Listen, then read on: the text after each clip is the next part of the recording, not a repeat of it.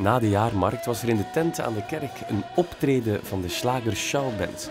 Alle bekende slagermuziek passeerde de revue. Het publiek kon het optreden wel smaken. Alleen de eerste stap naar de dansvloer was voor sommigen wat moeilijk.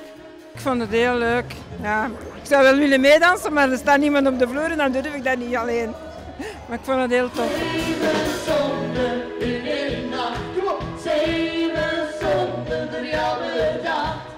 Twee lokale verenigingen zorgden voor de organisatie van deze muzikale avond. Het extra centje was een welgekomen cadeau. De hele avond wordt eigenlijk gedragen door zowel de Giro van Opstal als eh, de voetbalclub Eendracht Opstal. Wij staan hier samen in voor de organisatie van heel het gebeuren. En achteraf dan, op het einde van de avond, eh, mag ieder een deel meenemen naar, naar zijn vereniging eigenlijk. Dat is een mooie extra inkomst voor zowel de Giro als voor de voetbalclub. Eh, Het zijn van zo'n soort evenementen dat eigenlijk de verenigingen moeten proberen rond te komen gedurende heel het jaar.